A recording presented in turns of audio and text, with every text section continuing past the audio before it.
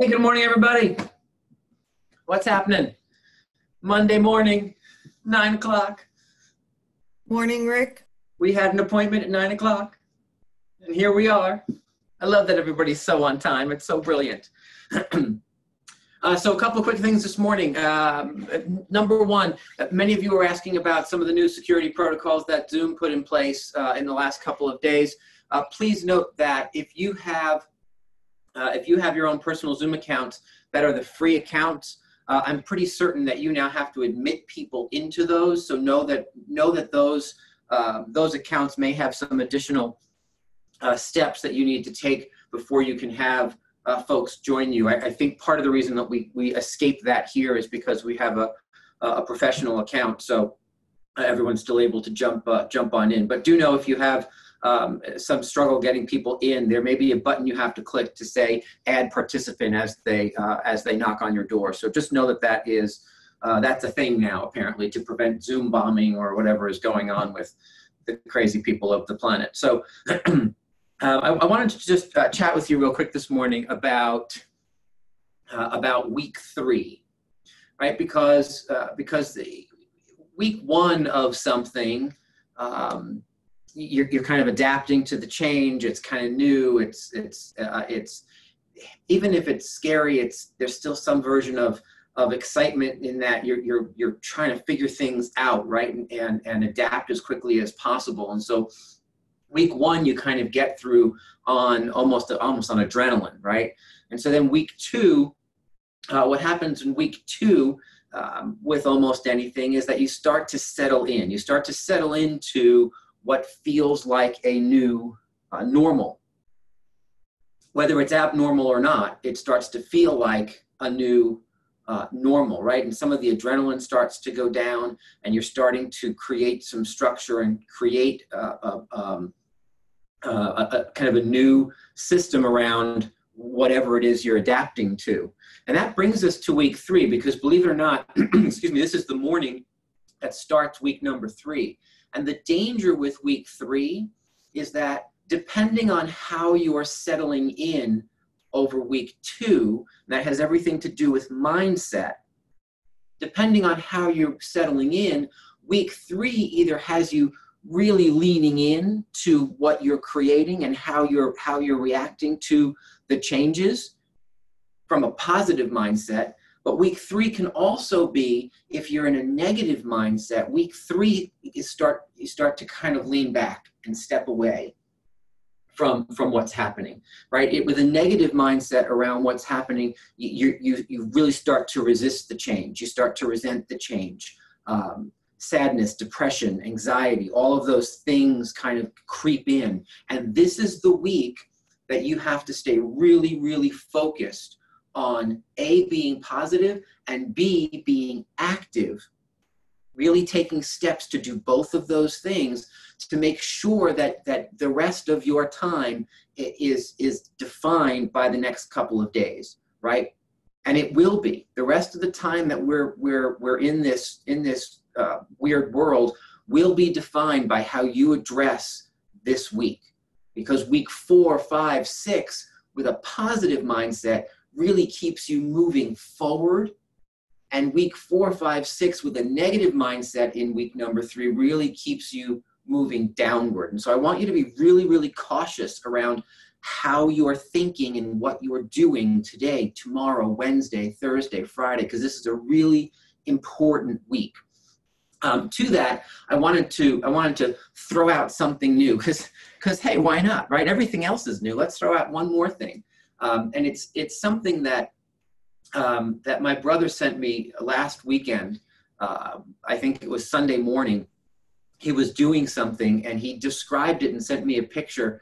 Um, and and he at the end of that text he said this. He said hashtag silver lining, and I haven't been able to get that out of my head um, since he did that. And so I I, I asked him to um, to just kind of tell you what that's about um, and what he what he sent me uh, because I want to I want to challenge you and, and throw something new out for us all to be thinking about and doing. Chris, are you on the call? I am. Sorry, I was trying to unmute myself. There we go. I know it always takes longer than you think it does. wait, where, where are you? Let's let's bring you there. You are. Um, hello. So hello. So can you tell everybody what what that was about? What did you send me? Uh, yeah. So um, before I got into real estate, um, every couple of months on Sunday mornings, I'd make uh, crepes and jelly and chocolate chips and whipped cream and for the whole family. And uh, we'd sleep in late and we would do that. And that's not something we really do anymore because I'm doing open houses every Sunday. Uh, so, uh, you know, in spite of, and, and um, actually even maybe because of what's been going on, um, I was able to, to do that again uh, last Sunday. And it just kind of made me, it struck me that, uh, you know, even though there's so much negative to talk about, there are these moments that pop out, these little nuggets that, uh, that really kind of make me appreciate what, you know, what we do have. I love that. And so I want to just show you, uh, this is the picture that Chris sent me of what he made that day. Um, really, really amazingly impressive, I thought. Um, the, uh, uh, we talk about going all out. Um, the silver lining is that there was no diabetic coma, I think, after the fact. But uh, so, so well, well done. Um, and then, and then uh, you just, I think you said to me again, then just last night or, or over the week, this weekend, that, that you just did something else, right? What was your other oh. silver lining opportunity? Yeah, last night we made hobo dinner, um, which is again something we used to do when they were younger. Which is uh, we we Jen and I were my wife and I were uh, raking yesterday and picking up sticks, and when we do that, we sometimes we have a little campfire in the back, and uh, we just take ground meat and vegetables and seasonings and whatnot, and put it in tin foil and cook dinner on the on a campfire in the backyard, and just sit around and eat it. So we did that again for the first time in forever.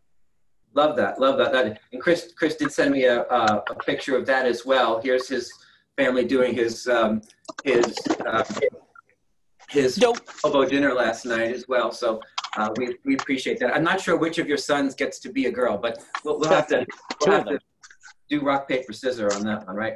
So here's the point. Thank you so much for uh, for sharing that. The um, what I want to what I want to make sure that we do uh, starting right now is uh, talk to each other about those good things. So I want to make sure that we're we're focused on what what are we appreciating? Where are the gratitudes? You know, if, it's easy to to look at at uh, at the difficult pieces of this, it, it's easy to get down.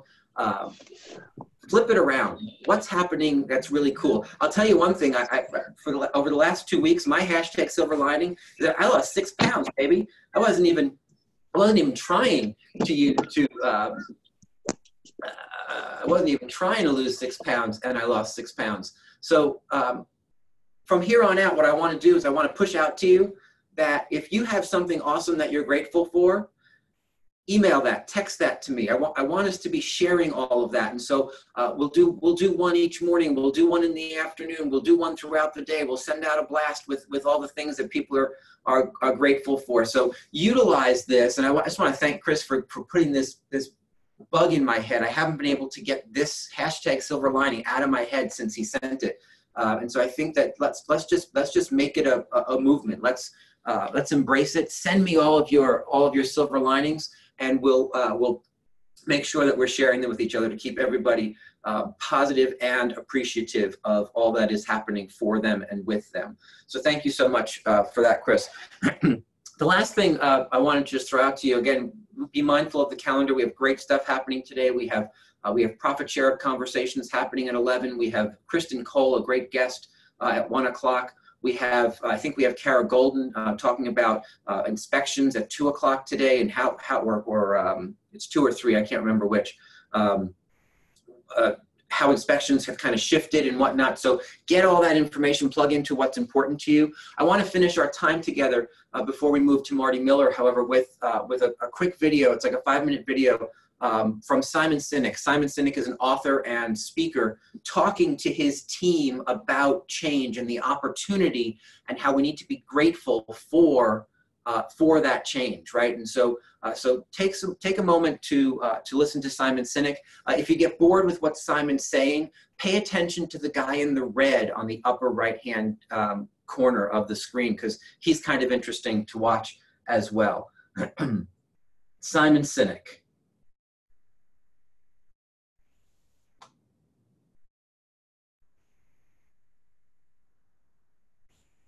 I just did a a, a, um, a web a, a, a podcast interview with some folks in Australia, and they were pushing me very hard to try and explain how the infinite mindset helps in times like these.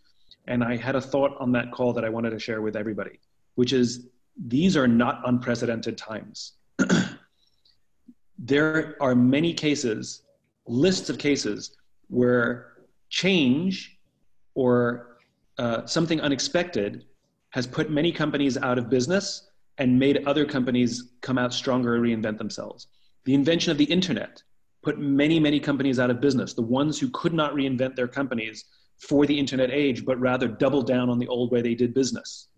Um, every video store is out of business because, uh, because of streaming, and they couldn't reinvent themselves.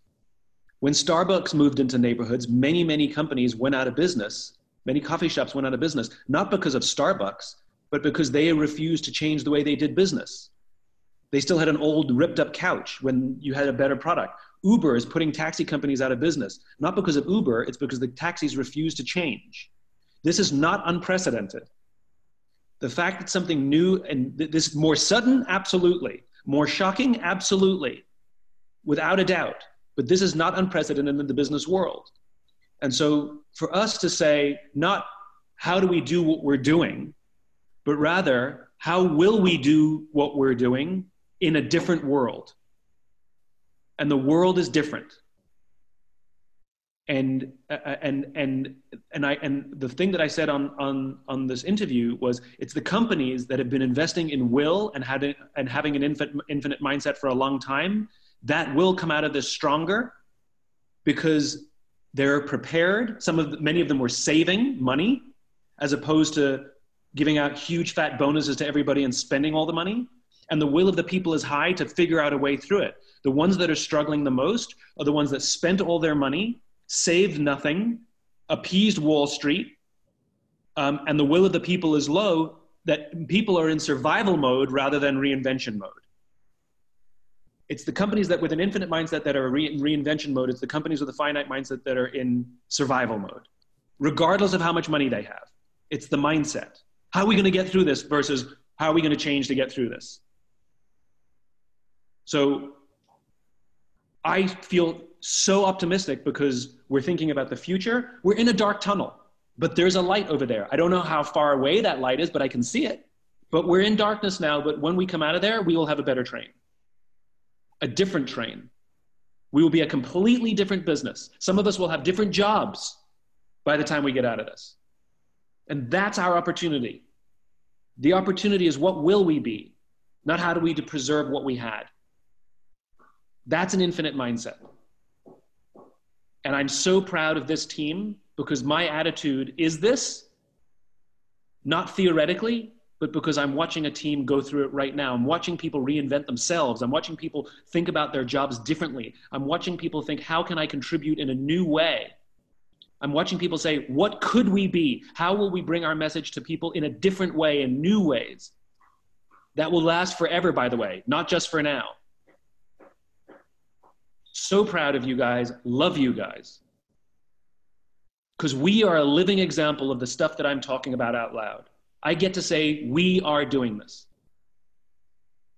We're not allowing Uber to put us out of business. We're not allowing Starbucks to put us out of business. We're not allowing the internet to put us out of business. We'll reinvent ourselves. This is not unprecedented. This has happened many, many, many times in business. This one's just a little more sudden. By different jobs, you don't mean different jobs out of this company, but reinvent yourself within this company. That is the opportunity. So I know a company, it's a fine dining restaurant in New York City. He's figured out a way to become a delivery company. All of his people have kept their jobs because they have different jobs now. But if you think you're going to do the same job and you're waiting, like if you're a public speaker who was waiting for this to get through so you can go stand on a stage, I got some bad news. That, that ship has sailed. We have to be a normal company now where we have to market ourselves and, and develop product. This is a huge wake up call for us. We, have, we, we had the luxury of being lazy. And I don't mean that in a bad way. There was no reason to reinvent when, when we we're drinking from a fire hose but now the opportunity is magical. I'm thinking, how do I put myself out there without a stage? This is entirely new for me as well. This is entirely new for me. But I'm not worried about what I do, I'm worried about why I do it. And I will find a job that helps me do that. I'll make a job that helps me do that. And I expect the same of everyone. And here's the best thing you don't have to do it alone. We've got each other's backs, we'll help each other. Some of it'll be easy, some of it'll be unbelievably difficult. This is a very, very magical team. We're streamlined.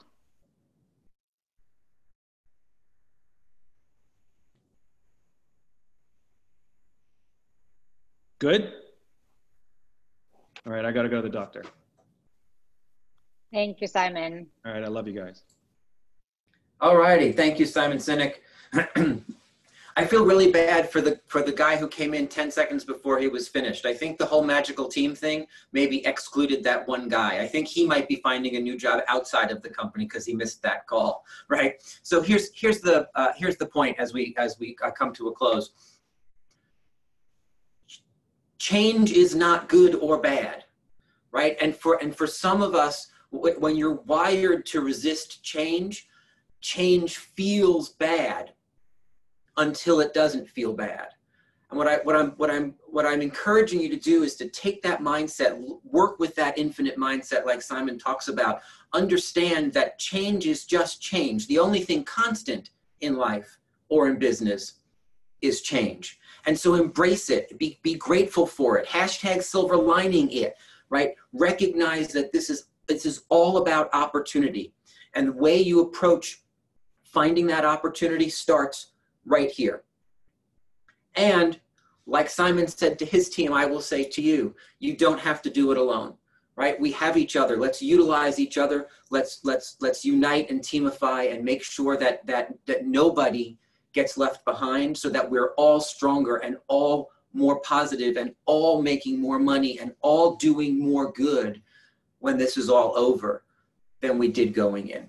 Guys, have a great day. I'm going to pass it over to Adonis to kick off the uh, day six of your Marty Miller challenge. Have a lovely one. Awesome, awesome. This is a good morning. I feel like it's going to be a good week. Anybody else feel like that? Awesome, awesome. So, uh, Marty Miller is going to take us through custom tags with our contacts because as you start to get more and more contacts, you want to label them as such so they're easier to find. He's also going to show us some smart views. So stay tuned for Marty Miller.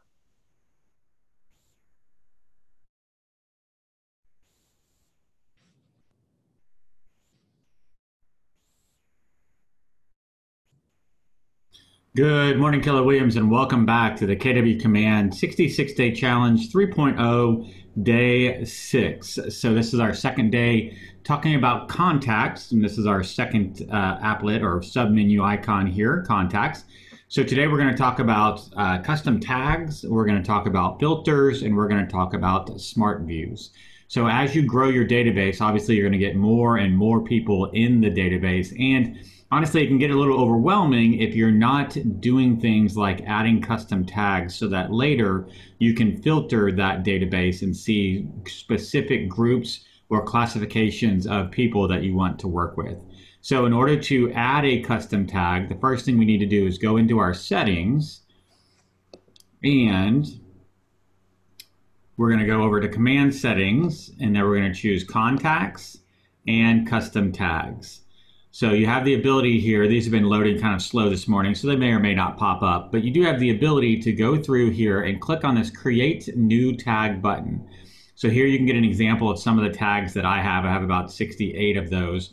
Um, ignore this, I'm not sure why it's saying I have 912,000 contacts uh, with that tag. Obviously I don't.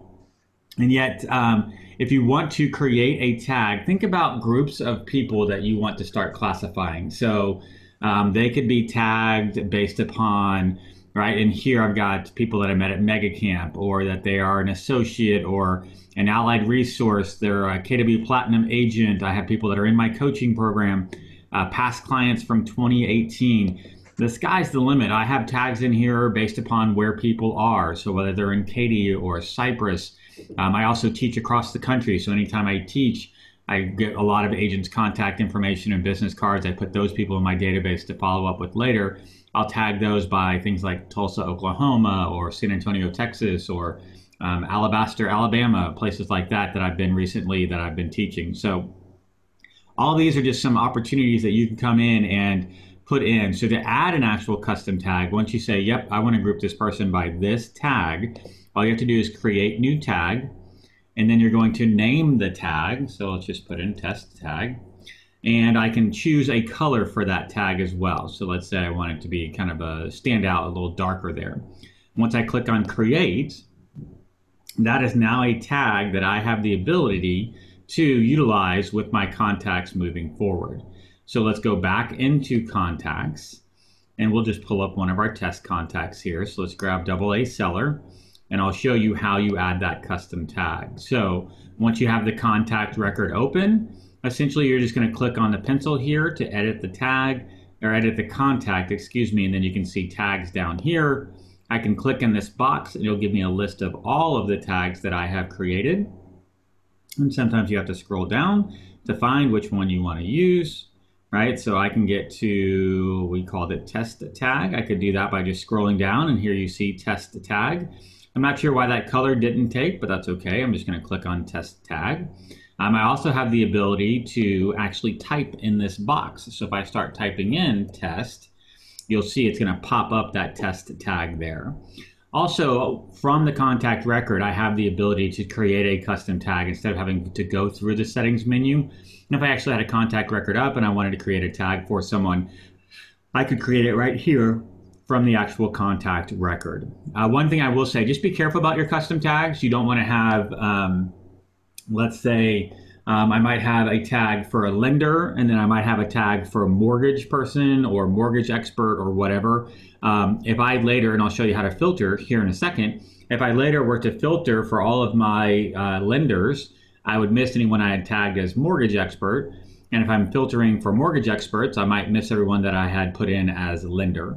Um, so, you know, I've, I've had people create tags for like potential lead, potential buyer, and then future buyer, and then possible buyer. And all of a sudden, right, they're trying to filter their contacts and they're missing people because they tagged them multiple different ways. So, my, I think the best practice is if you're going to create a tag, look through the ones that you already have and make sure you don't have a tag that's already very similar to that. And if you do have one that's similar, then use the same tag. Be consistent throughout your entire process. All right. So once we're back in the full contact list, the importance of using tags becomes apparent when we start looking at filters. And I'm going to show you some additional filters as well. Once I click on filters, the filter screen pops up here from the left-hand side, and I have a variety of different methods I can filter my database by. The first one's here at the top based upon the stage, whether you've captured their information, whether you've connected with them, or whether you've actually qualified them. And obviously, you can do that within the contact record. System tag. So let me say I want to look at all of the system tags that are available here, right? So you can see these are created by KW already stock in your system. So if I wanted to look at everybody in my database, let's just say that was a KW agent. I could do that, and I could come down and click on apply, and all of a sudden my database goes from 2786 to 529. So I have 529 KW agents in my database. You can see that this filter is active, so I'm only going to see the ones with this filter. I can click on the X and it removes the filter and takes me back to my entire list of contacts as well. So I can click on filters again. On the right hand side, you can see here we have our custom tags. So I can go through and let's say I wanted to find somebody that lived, maybe I have a new listing going live in Katy, and I want to pull everybody up from my database that I've tagged in Katy. So I could click on that, and then I could click on down here at the bottom, apply, and it's going to pull up the people that I have tagged in Katy right now. All right, so I can cancel that filter. And let's go back. Let's get rid of that custom tag. I could go through and look at company. Maybe I have um, a lot of people from a particular company that I want to send out an invite for uh, an event that I'm doing nearby where they work. That could be something we'd use company for. Um, created, so longer than. So I want to know someone that's in my database that's been in my database for more than, you know, three months, six months, 12 months. I could also do, I want to find people that have been created within my database within the last blank. So this is important too. If you're running Facebook ads, you want to see the contacts that have come in within the last one or two days. I could do that within last one day and click on apply. It would only show me the people that have been put into my database within the last day. So these are all people that I put into my database within the last day. I can go back to filters and cancel that out. Okay, you also have lead source. So I can come through here and filter by lead source. I can filter by modified within the last. So did I make any changes? Have I updated anything? Have I made any, right? So if I longer than, so modified longer than, let's say 10 days, that's basically going to then show me anyone that has had a modification or hasn't been modified, right? That's why it's such a big list, 2485 there. Um, I also have the ability to do last contacted, last visited, date of birth, right? So I wanted to see who's who's got birthdays within the next three days, so I can plan to make some calls. We have the birthday smart plan, and I highly recommend that. And yet, if you have people in your database, I could just say, hey, um, I think Austin's birthday is today, and then Jennifer and Nancy and my boy Philip and my boy Rich from KW Platinum, right, all have birthdays coming up within the next three days. So that's another example of a filter that you could create. Uh, primary phone, you got primary email. Does the contact have a neighborhood assigned to them or not? So that's always a good one. Uh, who's the ownership, right? So if you're on a team, we're working on some of those permissions still coming down the pipe.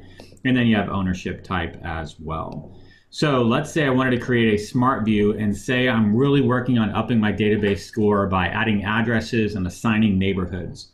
I could come in here and say, okay, I want to look at all of my contacts that do not have a neighborhood.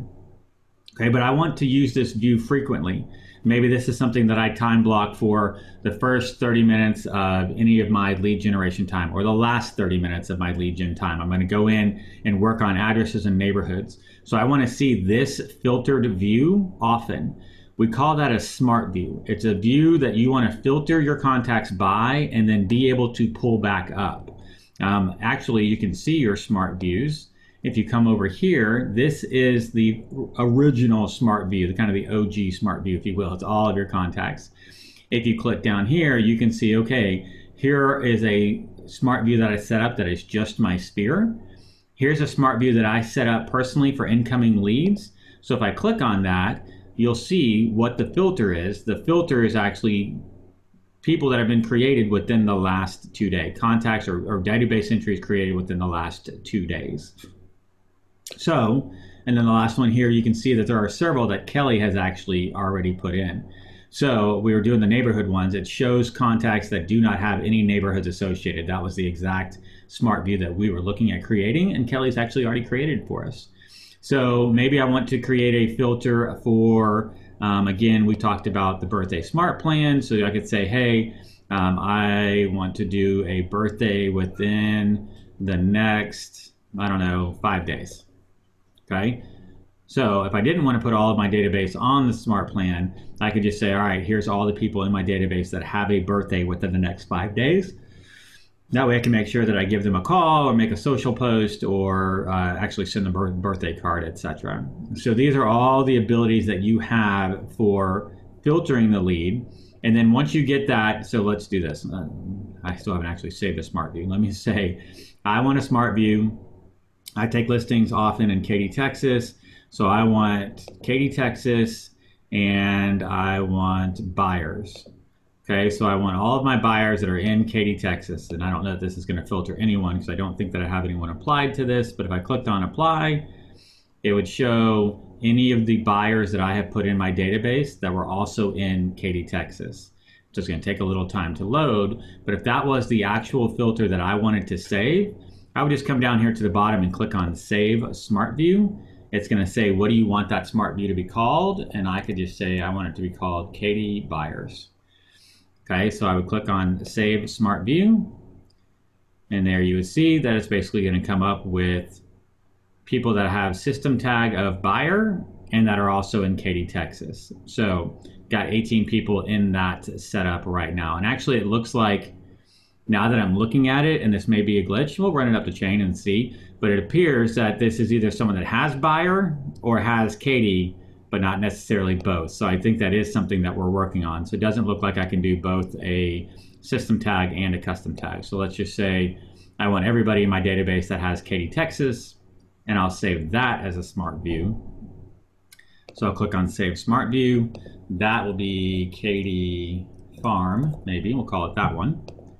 All right, and let's say that Katy Buyer Smart View we didn't like. We could click on this drop-down box here to see all of our smart views. We can click on Manage Smart Views. And that Katy Buyer one, that one didn't work. So let's come down here. We're going to click on the Katy Buyer. And actually, let's click on all default. There we go. Now I can see the trash can. I'm going to get rid of that smart view. It says delete smart view, and I say yes. And now that smart view is no longer in my list of actual smart views. So I click on apply. And now you have the ability basically to go back into smart views. If I wanted to see all my people from Katy, I now have a new smart view called Katy Farm. All right, so that's basically how we create a custom tag, how we can utilize custom tags and or system tags when we are creating a contact or editing a contact, and then also the ability to use one of these multiple filters to kind of take our massive database and shrink it down to a more manageable, workable size. And then you've also seen a smart view for a filter that you really like and you want to continue to use.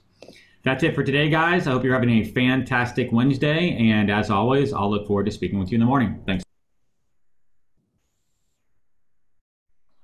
So I hope you enjoyed today's video. Tomorrow, Marty's gonna talk more about context because everything starts with contacts. So you're gonna learn how to search for um, different ways, like via email or last name, first name, so you can just get to the contact you're looking for. Also, maybe you paid for some ads on Facebook. Maybe you just want to see your leads. So we're gonna talk about that kind of stuff tomorrow. But that's it for today. I hope you make it a great one. Go make somebody smile. Go make somebody laugh. Go impact someone positively. Have a nice day.